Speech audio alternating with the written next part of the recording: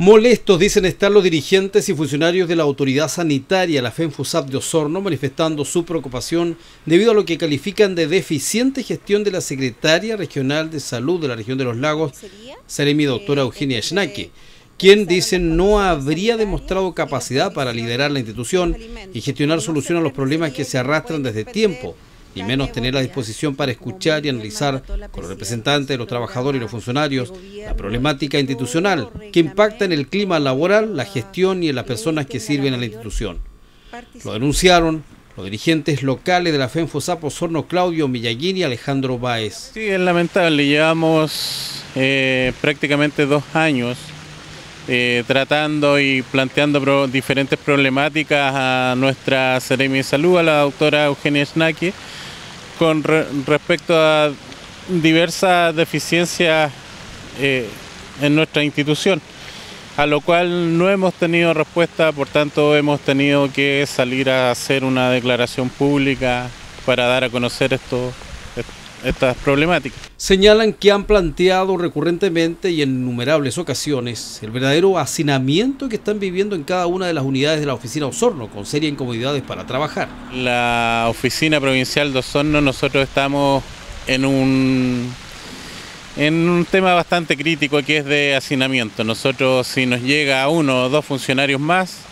no tenemos dónde ubicarlo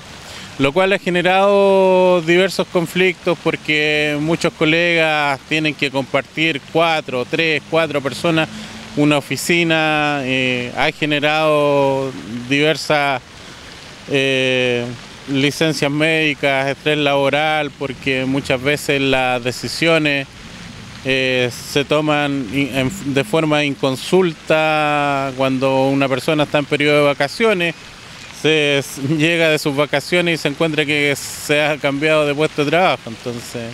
no son las formas las correctas. Paradójicamente señala el dirigente Alejandro Báez, en la institución, que es la responsable y encargada en fiscalizar las condiciones sanitarias ambientales básicas en los lugares de trabajo, no se cumplen las normas atingentes, lo cual impacta y provoca creciente alteración en el clima laboral, en las relaciones interpersonales entre los funcionarios, licencias médicas por estrés, por ejemplo denunciar en este caso que a dos años transcurrido la actual administración de nuestra Serena de Salud,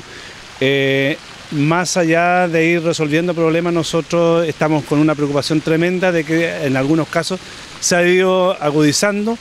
elementos básicos de un desempeño en una institución que está llamada a cautelar